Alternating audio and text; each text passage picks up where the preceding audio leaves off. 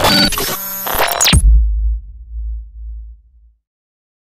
Mambo vipi mwanafamilia wa Mshino TV, another beautiful days, ikiwa ni siku nyingine na mara nyingine tena, ikiwa tumepata saa mzuri wa kuweza kukutana tena ndani ya Mshino TV kwa ajili ya kuendelea kujuzana taarifa mbalimbali za kimichezo na burudani kutoka hapa Mshino TV. Na kama hii ni mara yako ya kwanza kabisa unatembelea channel yetu ya Mshino TV, tunakusihi uweza kusubscribe, kulike pamoja na kucomment ili uwe mtu wa kwanza kupata taarifa mbalimbali za kimichezo na burudani kwa kila siku na kila wakati. Moja kati ya taarifa kubwa hivi sasa ya kimichezo ambayo inaendelea kuchukua nafasi ulimwenguni ni kuhusiana na usiku wa tuzo za Ballon d'Or ambazo zinatarajiwa kutoka leo hii siku ya Jumatatu ya Oktoba 28 mwaka 2024 ambazo zinatarajiwa kutolewa kule jijini Paris nchini Ufaransa, na akiwa amesalia masaa machache tu kutoka hivi sasa kuweza kumshuhudia mshindi wa tuzo ya Ballon d'Or kwa msimu wa 2024 2025. Na kwa sasa hivi ni kwamba maandalizi ya usiku wa tuzo za Ballon d'Or umekamilika kwa asilimia mia moja.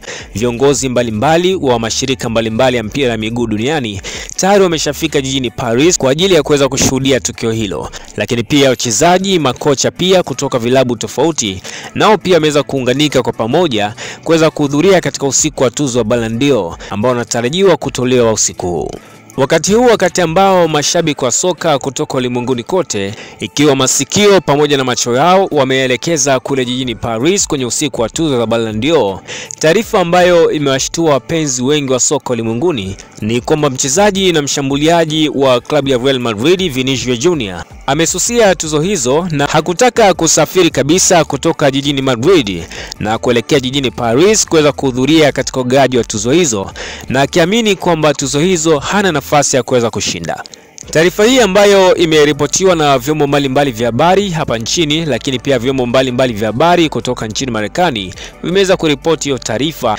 na kusema kwamba Vinicius Junior ameamua kususia hizo tuzo na akiamini kwamba tuzo hiyo haitoenda mikononi mwake. Ingawa wa mashabiki wengi wa soka ulimwenguni wanaamini kwamba kwa msimu huu wa 2024-2025 mshambuliaji Vinicius Junior ana nafasi kubwa kuweza kuchukua tuzo hiyo kuliko hata wachezaji wengine, na ni kutokana na makubwa ambayo ameweza kuyafanya kwa kipindi hichi. Na ni wazi kabisa Vinicius Junior alikuwa na wakati mzuri katika ligi ya mabingwa ya Real Madrid na akitwaa La Liga mara mbili, lakini pia jinsi ambavyo amekuwa na mchango mkubwa kwenye klabu yake ya Real Madrid imeleta ushawishi kwa mashabiki wengi wa soka ulimwenguni kutamani kuona Vinicius Junior anachukua tuzo hiyo. Na miongoni mwa mastaa wengine wa soka ulimwenguni ambao wamekataa kuhudhuria katika ugaji wa tuzo hizo ni pamoja na Kylian Mbappe ambaye kwa sasa ni mchezaji halali wa klabu ya Real Madrid, naye pia akiamini kwamba hana nafasi kabisa kuweza kuchukua tuzo hiyo na amekataa kabisa kuweza kuhudhuria katika usiku wa ugaji wa tuzo za Ballon d'Or